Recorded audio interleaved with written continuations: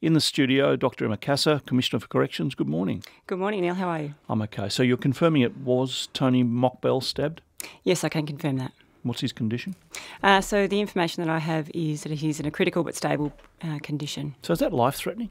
Uh, nothing that I've been, uh, thank you, uh, told is, is, leading me to believe it's life threatening. Uh, he did have surgery last night, and all accounts from the hospital are that he is in a stable condition. What about the other man that's stabbed? Who's he? Uh, so he is in the Geelong Hospital uh, and again a stable condition. Are you willing to say who that is? Uh, at this stage, no. What's the relationship between the two men? We're still piecing that together. Uh, Neil, if it's helpful, I'm happy to talk through the incident. We had sure. Uh, really good CCTV uh, coverage of it, and I saw the um, footage last night.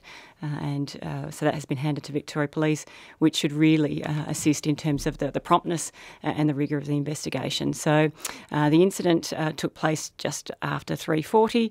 Uh, and uh, Tony Mokbel was walking back, heading towards the Diosma unit. The Diosma unit, uh, as you might be aware, is in the mainstream compound at Barwon Prison. Uh, he was approached by uh, two people, uh, two prisoners who um, assaulted him, knocked him to the ground, and you can see the footage very clearly showing a, a number of stabbing actions. another prisoner did come to Tony Mokbel's aid, it seems, and he was also injured. in terms of the relationship between those two people, it's too early to tell. Does the CCTV footage identify the attackers? Yes, it does. Uh, and they were separated within moments uh, and are being interviewed by police uh, and my staff uh, throughout the course of today. Uh, separated and put where? Uh, into the high security unit. And there's only two attackers? At this stage, yes. That, that's all we can see on the footage. Uh, what we'll be doing uh, throughout the course of today is really looking at uh, who else is, is involved, and that's something that I can't really talk more about for operational reasons. Both armed?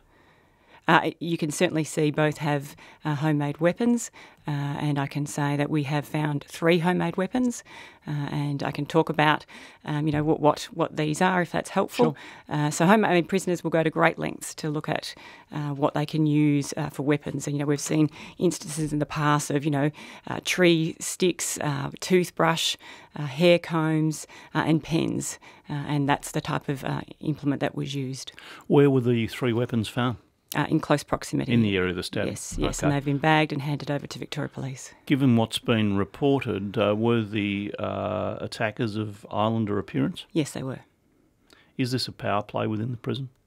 Um, too early to tell, Neil. Uh, we'll be uh, looking at that very closely. Um, there is, you know, as you know, the media have um, portrayed the uh, link between the article on Sunday uh, and this matter. Um, at this stage, it's too early to tell for us, and, and you know, any comment that I make would be speculation. The article on Sunday in the Herald Sun, Sunday Herald Sun, reported that Mokbel had become an enforcer and was in dispute with a, a gang of islanders. That's the, the correct um, summary of the article, is it? Yeah, that's. I mean, that was the article on Sunday. Yes. But you're not saying whether that's accurate or not. No, at this stage, you know, it's under 24 hours since the incident. We need time to really look at that uh, and to uh, interview the the two uh, suspects and the broader uh, cohort who may or may not be involved. I mean, there's also been speculation that's been linked to his uh, involvement with Lawyer X. Mm. is that being investigated as well?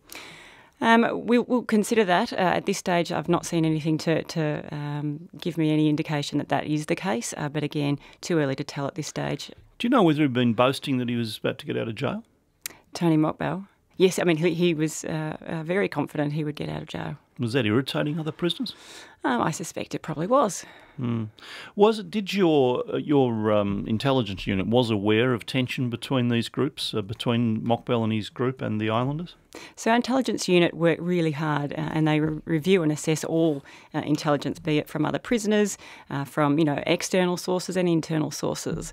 Um, and you know, as a matter of course, you know we have strict procedures in place, uh, following you know articles like the one that appeared on Sunday in terms of welfare check, security reassessment. All those processes were done. Okay, so the article is seen, and then, then you step up security. Uh, we reassess mm. uh, both the security requirements for the individual uh, and the risk assessment, yes. Well, but did that article come as a surprise, or were you aware of some tension? Uh, no, we, we were not consulted on that article. Um, no, no, I know, but were you aware of what was going on? Um, there's always uh, things that we have to keep on top of, Neil. You know, they're, they're busy places, uh, and we would assess, you know, thousands of pieces of intelligence and information. This would be just one. But did the article surprise you? Um, the some of the information um, was, you know, of interest to us. Uh, was it a surprise? Uh, no. Now, there are obviously similarities with the Carl Williams attack. The newspaper publication comes out, then there's an attack. Uh, do you think there's a significance there? Um, there are similarities in terms of they're both high profile prisoners. Uh, in terms of their placement, uh, there is no similarity. One was in a high security unit, uh, one was in a mainstream compound, uh, one was clearly providing information to police. Uh, in terms of Tony Mokbel, it would be inappropriate for me to make a comment about that. Uh, so they, there are similarities, but nothing at this stage to lead us to say that they are linked or um, aligned. Why was Mokbel not in higher security? Why was he in mainstream? His, his security requirements didn't require high security. Well, uh, so he, did. He, he was a high security prisoner uh, in the early phases, uh, but again, Neil, as, as you know, you've, you've seen and uh, witnessed firsthand, we are a system that tries to progress people through. Uh, and Tony Mokbel has been housed safely in the mainstream compound at Barwon for a number of years without issue. How often is that reviewed? That sort of security situation? Regular. Regularly. Uh, is the jail still tense about the, after this?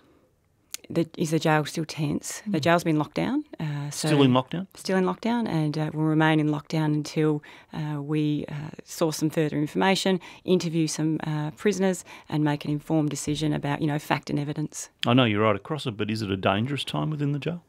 At this point? Uh, no, I wouldn't say so. Uh, I mean, the staff have done a terrific job. The response uh, in terms of uh, you know rendering assistance and aid to, to uh, Tony Mokbel was you know first class, uh, and they work really hard and are very experienced at that the mop up of these type of incidents to ensure everyone is safe. Could it be? could other prisoners be at risk? Uh, that's why we will remain in lockdown until we understand who else is connected, who else may be at risk, uh, and if there's any reprisal attacks that are likely to occur. Presumably, there's, if it is to do with a, a tension between two groups, Islander group and the Mokbel group, there are, there are people on both sides still. Correct. Yes, and, and we'll need to make a, a really uh, quick decision on their placement and their management, which we're doing at the moment. Does that mean you could move them, or you just put them into higher security? They may be they may be moved. Yes. Okay. Um, can prisoners sue for compensation after being injured for something like this? Yes, so there is a quarantine fund, uh, but I think it's. I want to make it very clear that uh, any money that goes into that fund, uh, once it's it's issued, uh, the victim or victims have access to that first within the first twelve months. Uh, so, but I think at this stage, uh, Neil, it's probably too early to talk about matters like that. It doesn't say a lot for the security of our system, though, does it? That over an, over only, only a few years, we've got one high-profile prisoner murdered in jail, and a second one uh, very seriously injured in jail. Um, Neil, I think my staff do a great job in terms of managing the risks and the issues. Uh, we deal with over 8,000 of Victoria's toughest uh, prisoners. Um, now, uh, th- these sort of incidents are unacceptable, uh, and for me, it's a real worry that this has occurred. Uh, so we're doing everything we can, uh, and we will um, certainly wait for the Victorian Police investigation, and then my team will investigate, and there'll be an external review into this to ensure that if there's any learnings or failings on the system's part, that we take those things very seriously. Um, I think you said you the incident was 340. So what? You're in lockdown by about 345, 350, something like that. Approximately. Yeah. Um, Craig Minogue, who the Russell Street bomber, is also a prisoner in Barwon, uh, mm. has sent out a message. Well, it's in his name, claimed mm. to be in mm. his name. Now I'll read it to you. I'd stress this is nonsense. That's not the point of it. It says, "quote The Prison Intelligence Unit and Victoria Police have had Tony Mokbel attacked in prison today. This is a conspiracy to pervert the course of justice." Unquote.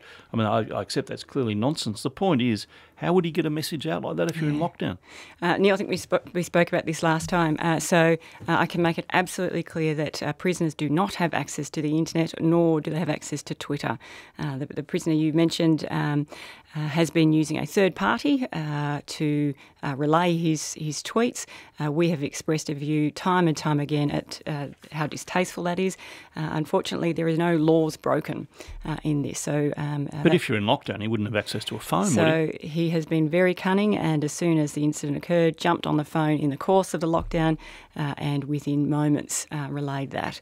Uh, again, exceptionally distasteful. Why the staff and other prisoners are trying to cooperate and preserve life.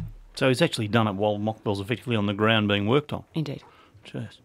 Uh, does it irritate your prison intelligence unit to be accused of being involved in this, or are they just used to dealing with that sort of stuff? Uh, we, I think my team are some of the most robust people. Uh, they are used to uh, dealing with uh, some colourful criticism.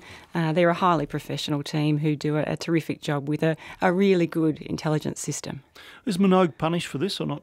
Uh, we, will investigate this as the course of uh, the broader investigation, uh, and I'm happy to come back to you with that. Thank you very much for your time. No worries. Thank you, Neil. Dr. Emma Cassar, the Commissioner for Corrections, 96900 693 13 13 32.